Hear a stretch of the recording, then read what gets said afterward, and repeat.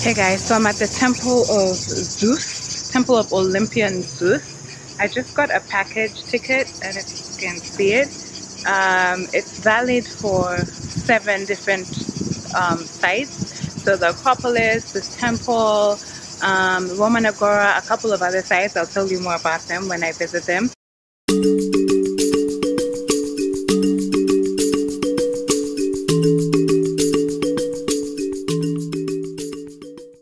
Hello from Athens. So I'm in Athens for a while, um, give or take two weeks. And um, I'm excited to be here. It's my first time in Athens. Been in Greece for months and never really been in Athens. I traveled through here on my way to Nafplio. Um, I don't know if you remember that vlog. I will link it up here. But um, I took a trip to Nafplio in December and I went to Athens, but I didn't stop in the city. I didn't explore the city. I haven't visited the sites, archaeological sites, the museums, and all the cool stuff that's there. So I'm excited to do that in the coming days. My friend uh, Karina is joining me on Friday. And so I'm saving some of the major stuff for her, like the Acropolis. She was like, wait for me to come and so like we can do that together.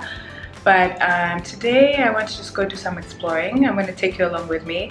I also booked a free walking tour for tomorrow that I'm going to um, show you. So this vlog is Athens on a budget so I'm really trying to stretch the two weeks and kind of just see the city slowly explore the city slowly get to see the city without spending too much.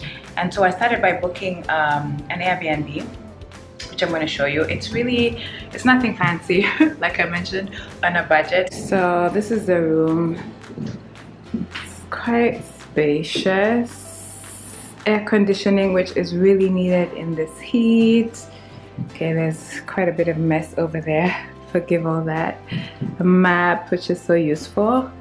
And this is my balcony. Bit of noise, excuse the noise. But yeah, I just have a view of the streets. I haven't really sat on the balcony to be honest because I'm enjoying the air conditioning in the room. One of the um, major advantages of booking Airbnb over any other kind of accommodation, especially when you're on a budget, is the fact that not only is it cheaper, you can get Airbnbs for as low as 8 euros. Um, this one is actually 8 euros, but then when you add the service fees and other costs like cleaning fees and things like that it roughly comes to 11 euros a night. But also what i love about airbnb is i can cook for myself so i don't plan on eating out a lot unless i'm exploring and it, it's practical. But the days that i am in the house because i came with my computer i'll be working from here as well um, so the day that I am in the house, I'm going to cook. So I went to the supermarket. There's a local supermarket just downstairs and I got some groceries. I got some cereal, I got some bananas, I got some pasta, I got some eggs, I got some pesto sauce, pasta sauce.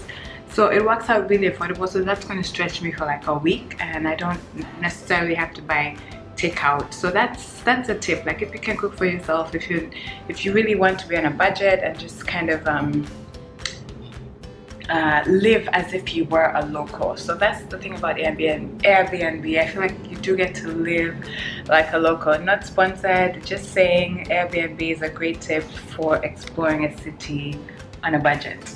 These are common areas. Um, that's the entrance.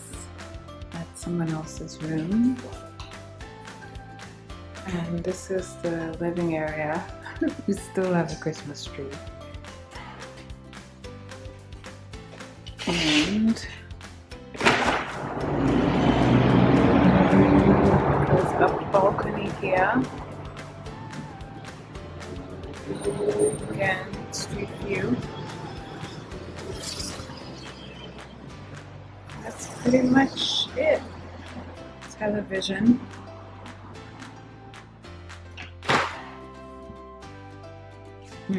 I was saying television here. And that is pretty much it. Oh, and the kitchen. A little kitchen here.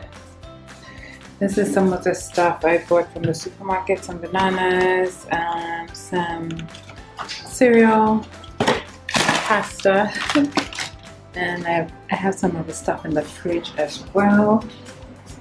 And again, balcony, street view.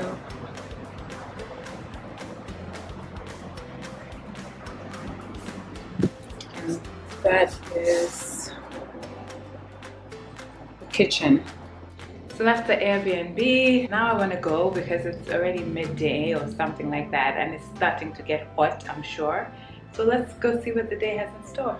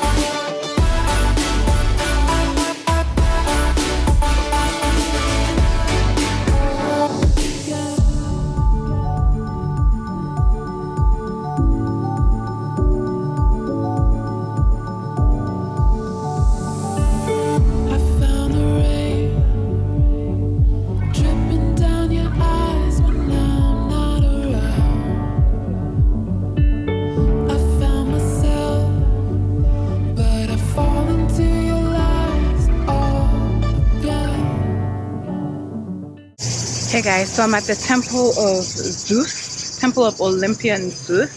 I just got a package ticket and if you can see it, um, it's valid for seven different um, sites. So the Acropolis, this temple, um, Roman Agora, a couple of other sites. I'll tell you more about them when I visit them. This is the first one I'm visiting and I think I'll keep the others for when Karina gets here. I like that it's really it's really calm and breezy. I love the I love the I love how it feels over here. It, it does feel very very serene. So yeah, I'm going to show you.